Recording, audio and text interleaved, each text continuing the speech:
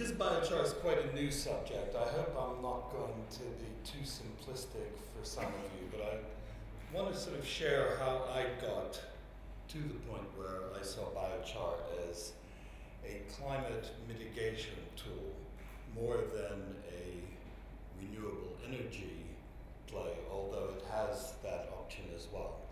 I was born uh, in Nebraska, in the middle of that green part of the map, uh, on a farm that my great grandfather carved out of virgin prairie. When he plowed that land, it had about 100 tons of carbon per hectare in the ground.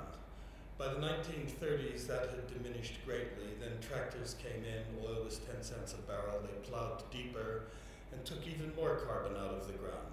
And after the war, nitrate fertilizers pretty much knocked the last bit of stuffing out of the soil, and it's now about five tons per hectare. So if you'd looked at that land on a Google map in 1885, it would have been black. Now if you look at it, it's a sort of pale beige color. It's, it's got no carbon left in it.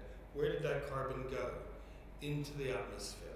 Up till 1980, half of all the greenhouse gas increase since 1850 came from land use change, from deforestation and agriculture. Agriculture still is maintaining its role as a major carbon emitter, but it hasn't been able to keep up with industrialization. The inevitable result of all of this was that the soil structure broke down. Without carbon to hold soil together, without it to retain moisture in the soil, the soil disintegrated. And that was the result.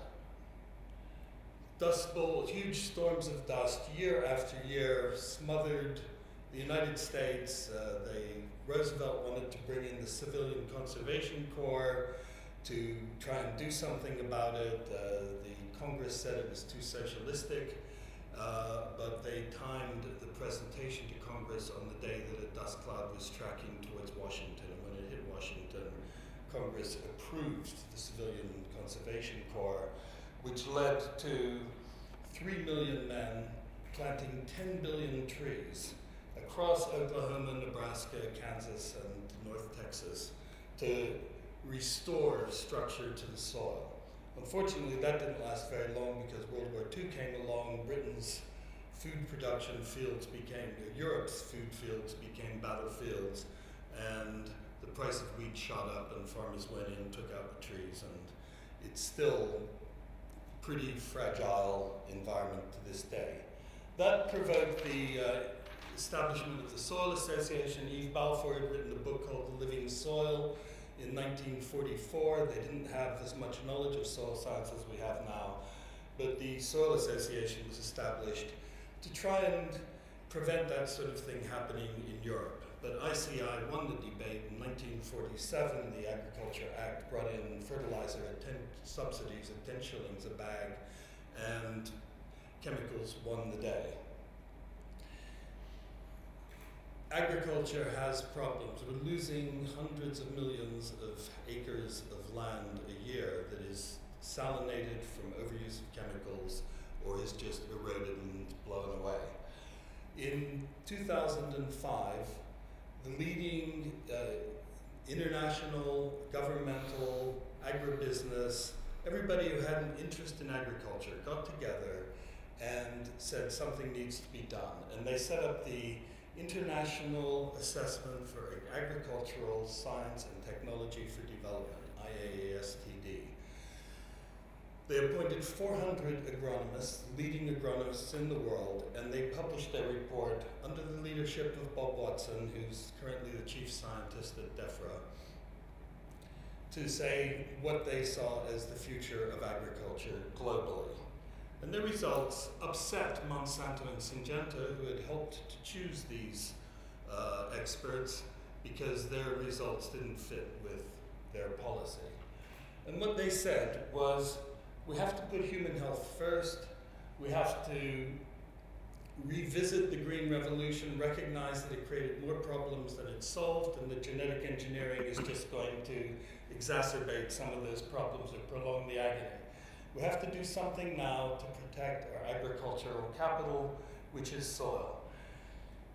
And we have to reward farmers who prevent climate change, who do something about it. The Food and Agriculture Organization talks about climate smart agriculture, which is adaptation because climate is getting drier and hotter. It's about mitigation, about how can agriculture be part of the solution to climate change rather than part of the problem, and how can productivity be maintained. And there's an interesting comparison. An industrial farmer uses 12 calories of fossil fuel to produce a calorie of food. And then that goes, if it's fed to chickens or cattle, it becomes much more inefficient because those calories are used to produce meat that uh, has a lower calorific value. Organic farmers aren't that much better. They still use six calories of fossil fuel to produce a calorie of food. And a man with a hoe can produce 20 calories of food with only one calorie of energy. So arguably is 120 times more efficient in calorific terms than an organic farmer and 240 times more efficient than an industrial farmer. But we'd run out of men with hoes if we tried to feed the whole planet in that way. The Rodale Institute in Pennsylvania has done, is in the 30th year of a trial. They've published their results every year.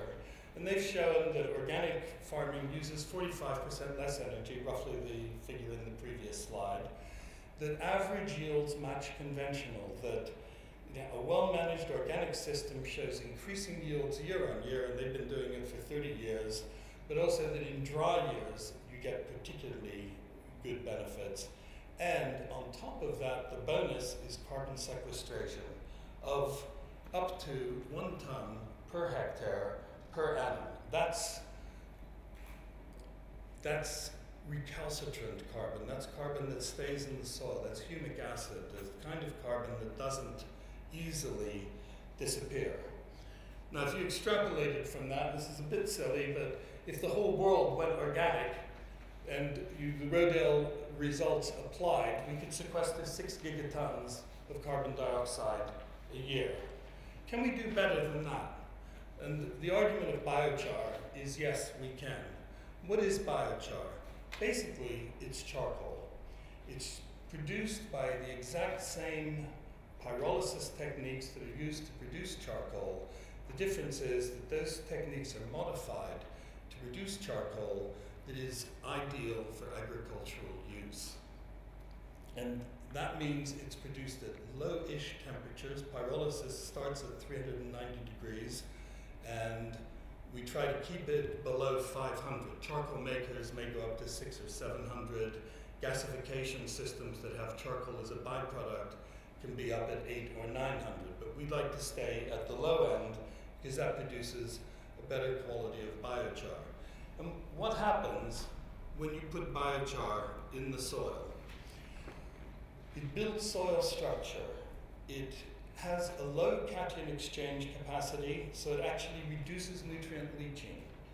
Soluble minerals in the soil that would be washed out are held on to if there's enough biochar in the soil. That means that fertilizer use can be reduced by up to 50% or more if you're using chemical fertilizers for organic farmers, quite dramatic results. It helps soil retain moisture, both because of its porosity, but also because it acts as a refugia for mycorrhizal fungi and bacteria that work in harmony with plants in healthy soil, and these populations shoot up. Like all life on Earth, uh, mycorrhizal fungi and bacteria have are, are mostly water. So all that life is also retaining water in the soil. When you have a high level of that kind of friendly, if you like, fungal and bacteria activity in the soil, pathogenic bacteria and fungi find it much harder to reach the roots of the plant and cause the sort of plant diseases that we need fungicides and various other chemicals to treat.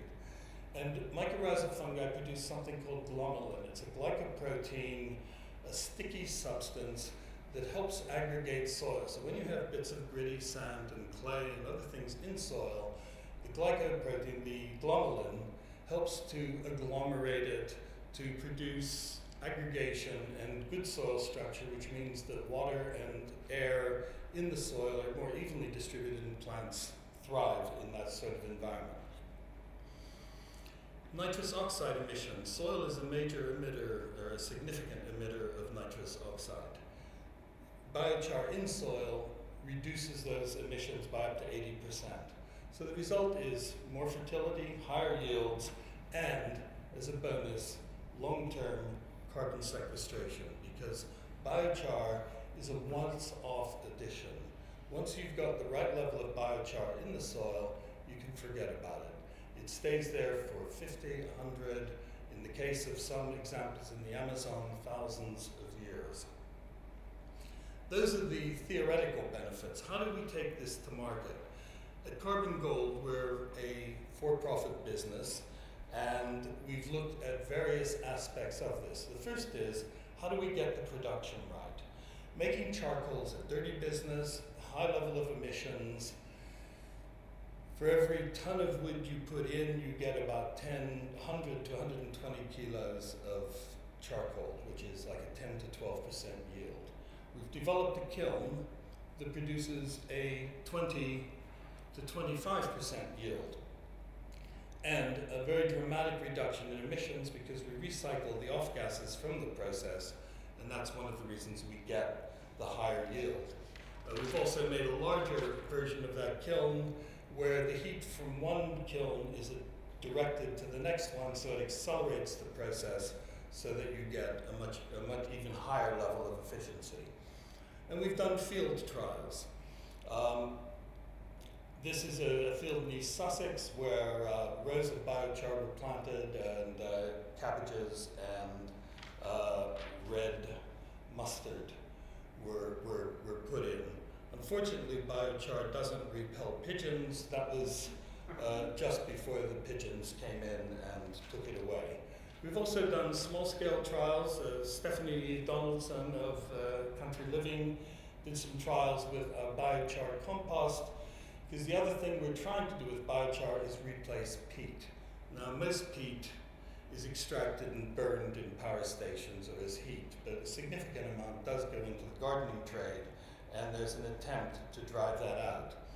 We've worked with a company called uh, Organic Plants who raise 40 million plugs, vegetable plugs a year, and they have said that it performs as well as the peat-based compost that is sort of unhappy reality of organic production that whilst organic farmers don't use peat, their seeds are propagated in peat-based composts because nothing else does the job as well. So we're finding routes to market for biochar. A company called Dynamotive in Canada worked with biochar on pasture, which is more than twice the amount of arable land on the Earth's surface. What they found is that with just four tons a hectare, less than four tons a hectare, applied once in 2007, every year to date they've seen a percentage increase in total biomass growth, double digits in the early years. The forage is superior nutritional quality, the cattle that eat that forage have higher levels of milk production, and all the time they're reducing greenhouse gas emissions. In Belize, where we still work with cocoa farmers. The um, farmers are reluctant to plant trees. It takes seven years for a cacao tree to bear its first fruit. Trees that were planted four years ago are fruiting and producing. That tree on the left has 26 pods, which has amazed farmers in that area because they've never seen anything like it before. Um, Kraft, who now own Green and Blacks, uh, have paid for 10 of those biochar kilns to go into farmers there, and they're using them to produce biochar for the new tree plantings. And in fact, the UNDP have just given the, uh, just agreed to give the cooperative $50,000 so they can buy more kilns and increase the use of biochar even further. And Belize for us, it's a small country, 300,000 population, English speaking, it's a good test bed for us for tropical crops. So not only are we doing trials with cacao, which Kraft will extrapolate into their much larger production in the Dominican Republic, Ivory Coast, and Ghana, but we're also doing trials with banana growers and sugarcane growers in order to assess the benefits of biochar for those crop types. And we have an agreement with a company called Pine Lumber, because uh, Belize also has a sustainable forestry industry. Every week they burn 20 tons of woody biomass at their extraction sites and another 10 tons at their sawmill sites. They're now converting that into biochar uh, in anticipation of supplying it to the sugarcane and banana growers who don't have the same kind of woody biomass feedstocks. At a consumer level, we've got a brand and a, a, corporate brand and a product brand. The corporate brand is Carbon Gold, our product brand is GroChar. And we have our products in garden, garden centers, in Waitrose, and available online. We provide a, a compost, a seed compost, and what we call GroChar, which is biochar that's been inoculated with mycorrhizal fungi, actinomycetes bacteria, kelp. So when you add it to the soil, these fungi don't have to find it, they're there in it, and so they can get to work straight away. Unfortunately, the garden center industry is on its knees at the moment, and so we've been struggling slightly with them, but our online sales are holding up. The weather for the last five or six weeks has been very painful for them. We have a lot of support. The government is opposed to peat and trying to phase it out. In fact, their last voluntary target date was two years ago, and nothing happened. So they're pushing hard now uh, we've been involved in a DEFRA consultancy consultation with the University of Edinburgh, which has the UK Biochar Research Centre, 12 PhD students working on different applications of biochar in different British agricultural situations. And Garden Organic have a demonstration plot in um, their demonstration garden in Ryton near Coventry using our GroChar products and this is their I Don't Dig Peat campaign. We submitted a methodology several years ago to the Voluntary Carbon Standard to establish just how much carbon credit would be available if biochar was included in any carbon emission trading scheme. Uh, it became quite controversial with some people saying we were too soft and others saying we were too conservative. So we've left that, but in fact the Climate Trust have come out with a figure of 2.35 tons for every of carbon dioxide offset for every ton of biochar added to soil. The voluntary carbon standard have come uh, verified, they're now called, came up with three tons we think if you make biochar efficiently enough, i.e. using one of our kilns, you're going to get twice as much yield and a much lower level of emissions, and this will work through into that ratio. Australia is introducing a carbon tax on July 1st of this year. Uh, the carbon farmers of Australia are getting quite excited about it they're not going to tax agricultural emissions because that would drive up the price of food. But what they are going to do is reward farmers who help to reduce emissions.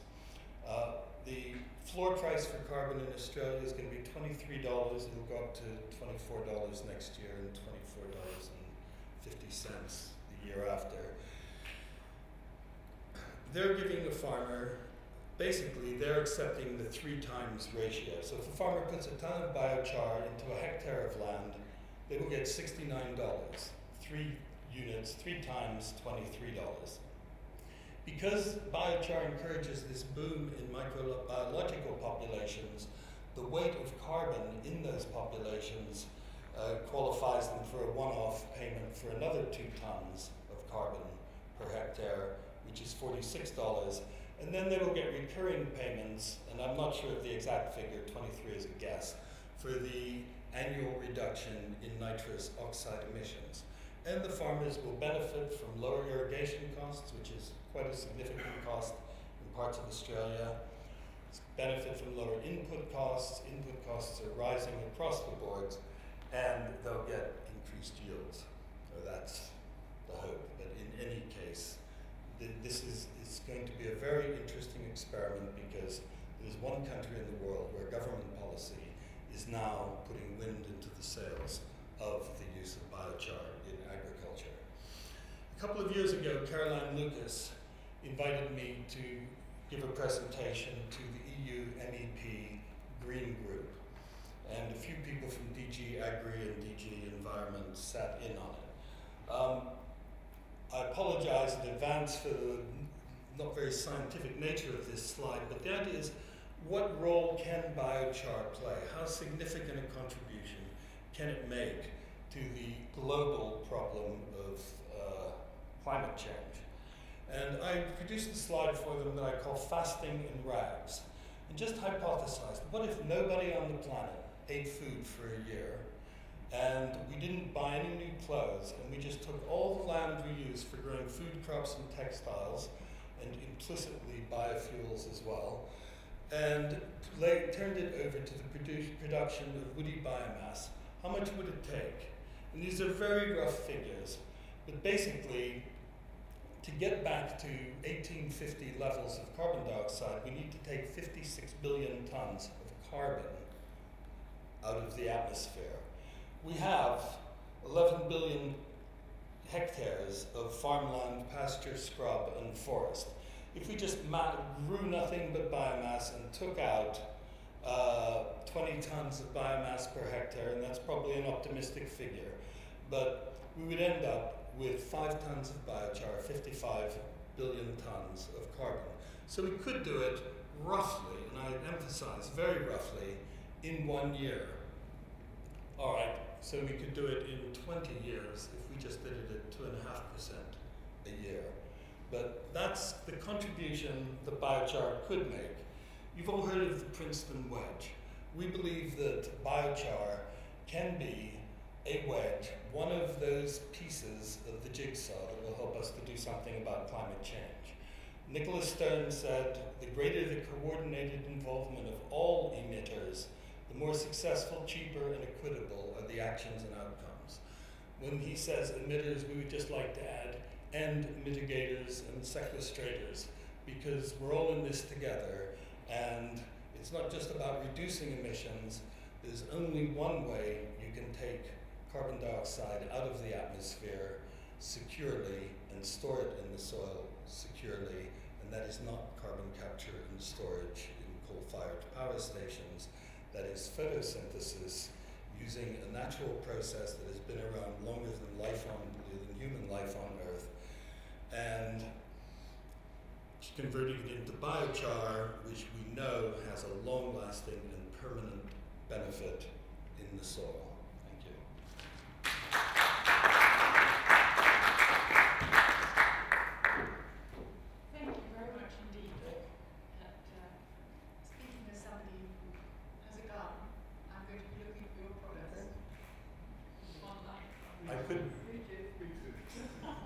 Daylesford, the, um, I don't know if you know the Daylesford shops in London, but Lady Bamford read about biochar 18 months, two years ago, and we started supplying her with material for her trials. They've switched over completely to biochar composts. They sell potted plants in their shops, and the waste levels have dropped because those plants stay fresh longer on shelf than the ones they used with and all the vegetables that they grow now are grown in biochar based. Is it any use for orchid compost? Do you use this instead of orchid compost? Interesting, you're about the fifth person over the last month who's asked that question. And I, I think the answer is yes. Um, it's because orchids depend very much on a biological system and biochar is ideal for any of that sort of system. In, in an industrial farming system, when you put chemical fertilizers into the soil, the plants no longer have the need of mycorrhizal fungi or bacteria. The, the, the relationship, most plants will 15%, 10 to 15% of the carbohydrate they make in their leaves through photosynthesis exudes through their roots to feed mycorrhizal fungi and bacteria, which then ferry through long hyphae tubules, like little filaments, in the soil nutrients to the plant. The minute you put chemical fertilizers on the soil, the plant has no need of mycorrhizal fungi. Why should I pay you for something that the farm is giving me for free? And I'll use those nutrients to grow bigger and reproduce faster. So that the real benefits come from a, a more balanced natural farming system. But you still get the cation exchange, the other you know, leaching reduction, you still get benefits in a more industrial system. But for orchids, yes, I'd be interested to follow your progress.